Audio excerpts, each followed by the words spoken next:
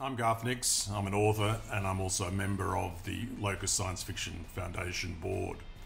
Locus is part of the fabric of our genre of fantasy and science fiction.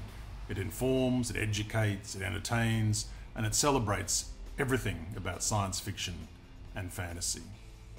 We need Locus. Locus needs us.